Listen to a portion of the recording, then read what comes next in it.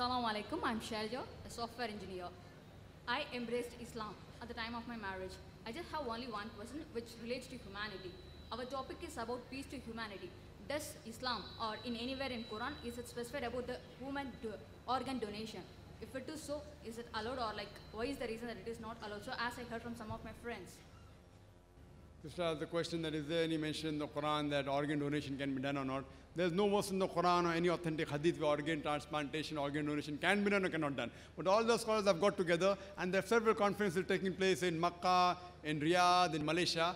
And the scholars unanimously agree that organ donation and organ transplantation can be done if three criteria are fulfilled. Number one, the person donating the organ, it should not cause a major loss to his health. I can't give my heart. If I donate my heart, I will die.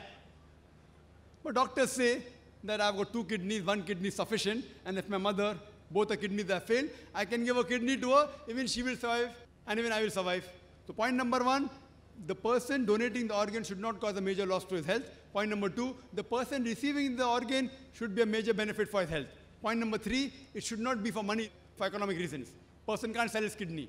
So if these three things are fulfilled, the scholars say, under these conditions, organ donation can be done, organ transplantation can be done. Hope that answers the question.